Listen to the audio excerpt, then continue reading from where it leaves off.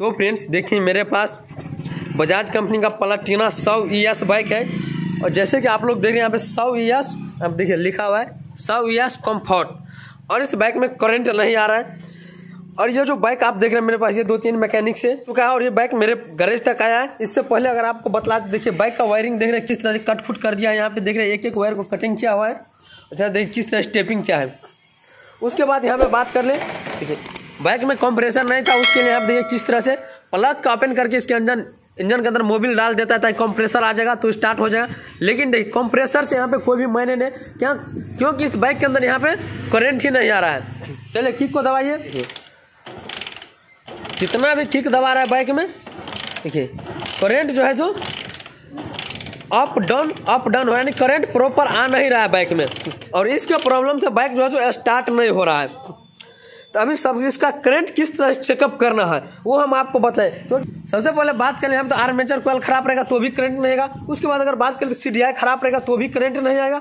या फिर बाइक का रेगुलेटर खराब रहेगा तो भी करंट नहीं आएगा। या अगर हो सकता है तो बाइक का बैटरी खराब रहेगा शॉर्ट हो जाएगा तो भी करंट नहीं आएगा।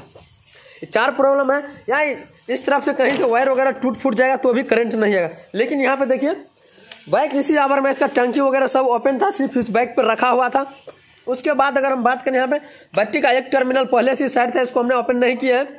सबसे पहले हम चेकअप करेंगे कि सीडीआई तक करंट आ रहा है या नहीं। सीडीआई तक करंट नहीं आ रहा है, उसके बाद यहाँ सी तक करंट नहीं आ रहा है तो चेकअप करेंगे यहाँ पे कि आर्मेचर से हमारा आउटपुट करंट आ रहा है या नहीं। उसके बाद अगर बात करें आर्मेचर से आउटपुट करंट आ रहा है तो सीडीआई तक आना चाहिए। सबसे पहले हम चेकअप करेंगे सी के पास, वो भी कौन सा कलर कोड में चेकअप करेंगे? ये जो आप ये जो आप यहाँ देख रहे हैं ब्राउन पे जो ग्रीन कलर का लकीर है ब्राउन पे ग्रीन कलर का लकीर है, इस वाले वायर में हम करंट चेकअप हमारा इनपुट करंट आ रहा है या नहीं? क्योंकि अगर सीडीआई तक करंट आ रहा है आउटपुट करंट चेकअप करेंगे यहाँ पे। अगर आप चाहे तो यहाँ पे भी चेकअप कर सकते हैं। यहाँ पे यहाँ पे कौन से कलर में चेकअप करना देखिए एक तरफ़ का आप है ब्लैक पे येलो कलर का लकीर है, और दूसरा में अगर हम बात कर ले यहाँ पे, बिल्कुल ये ब्लैक होगा, देखिए आप, बिल्कुल ये ब्लैक कलर का है। तो यहाँ पे आप कोई भी वायर में चेकअप कर सकते हैं करंट आ रहा है या नहीं। तो सबसे पहले हम चेकअप करेंगे सीडीआई के पास।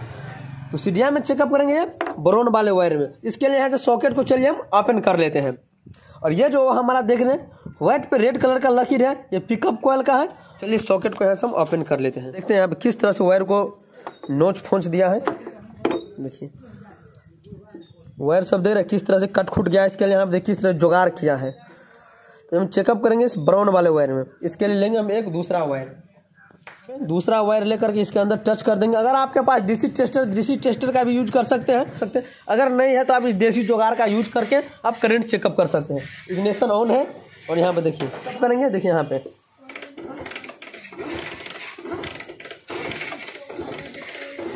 जैसे किक दबा रहे हैं, यहाँ पे थोड़ा थोड़ा करके देखिए। करंट प्रॉपर आ रहा है। देखिए, यहाँ पे करंट प्रॉपर आ रहा है। डीसी टेस्टर है तो हम क्या करेंगे, इसके अंदर यहाँ पे डाल देंगे। देखिए। ठीक, दबाने के बाद यहाँ पे लाइट भी प्रॉपर वर्क कर रहा है, यानी कि सी तक जो हमारा करंट है प्रॉपर आ रहा है। सी से बाहर आउटपुट करंट नहीं दे रहा है। इनपुट करंट सी तक आ रहा है, लेकिन सी से आउटपुट करंट नहीं आ रहा है। अगर उसके बाद यहाँ पे चेकअप करना है, अगर यहाँ तक करंट नहीं आ रहा है तो उस टाइम आपको चेकअप करना है यहाँ पे। हाँ यहाँ पे देख लो। यहाँ पे चेकअप करना है, वो भी यहाँ पे दोनों ग्रीन वाले वायर में। तो दोनों ग्रीन वाले वायर में चेकअप करने के लिए तो फ्रेंड्स दोनों ग्रीन वाले वायर में करंट चेकअप करने के लिए यहाँ से सॉकेट को ओपन करना है। आप यहाँ से सॉकेट को भी ओपन कर सकते हैं, या अगर सॉकेट को आप ओपन नहीं करना चाहते हैं, अगर यहाँ तक आउटपुट आर्मेचर से करंट नहीं आ रहा है, उस टाइम आपको हो सकता है आर्मेचर खराब होगा। उस जब आर्मेचर से आउटपुट करंट आ रहा है तो उसके बाद यहाँ पे चेकअप करना है। अगर रेगुलेटर तक करंट आ रहा है, उसके बाद यहाँ पे व्हाइट वाले में चेकअप करना है कि आउटपुट करंट आ रहा है हमारा कि नहीं। रेगुलेटर से बाहर करंट सप्लाई दे रहा है नहीं। अगर रेगुलेटर से बाहर सप्लाई नहीं करंट दे रहा है, उस टाइम हो सकता है आपका बाइक का रेगुलेटर खराब होगा। लेकिन यहाँ पर रेगुलेटर से भी आउटपुट करंट आ रहा है सप्लाई आ रहा है, क्योंकि सी तक करंट प्रॉपर आ रहा है। क्योंकि हम नॉर्मली रेगुलर सी को मल्टीमीटर चेकअप प्रॉपर नहीं कर सकते हैं। क्योंकि सीडीआई तक करंट प्रॉपर आ रहा है, उससे आउटपुट करंट बाहर नहीं जा रहा इनपुट करंट आ रहा है, उससे आउटपुट करंट बाहर नहीं जा रहा है। अब हम क्या करेंगे? बिल्कुल नया सीडीआई डालेंगे। तो ये देखिए, मेरे वर्कशॉप में बजाज कंपनी का जेनुअन सी अवेलेबल था। अगर इसका पार्ट नंबर का बात करके यहाँ पे देखिए। इसका पार्ट नंबर यहाँ पे दिख रहा है। ये बजाज प्लटीना सौ ई बाइक का सीडीआई है। और यहाँ पे देखिए पार्ट नंबर देखिए यहाँ पे। यहाँ पे यहाँ पर लिखा हुआ है सीडीआई अगर इसका प्राइस का बात कर ले तो बारह सौ सत्रह रुपये इसका न्यू प्राइस है और यहाँ पे पुराना प्राइस लिखा था, इस पर हम ज़्यादा डिस्कस नहीं करेंगे। बारह सौ सत्रह रुपये इसका न्यू एमआरपी है न्यू प्राइस है। और हम एक चीज़ और आपको बोले प्राइस पे कभी भी ज़्यादा डिस्कस बिल्कुल नहीं करना चाहिए, क्योंकि देखिए, समय के अनुसार प्राइस कम बेसी होते रहता है। तो चलिए हम सीडीआई को बाहर निकाल लेते हैं।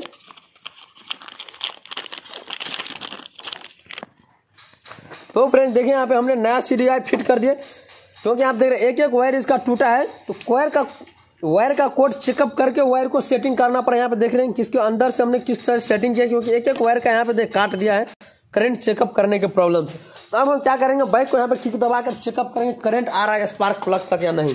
चलिए किक दबाइए। दबाइए, कस के दबाइए। देखिए करंट आप प्रॉपर आ रहा है। बाइक को स्टार्ट कीजिए।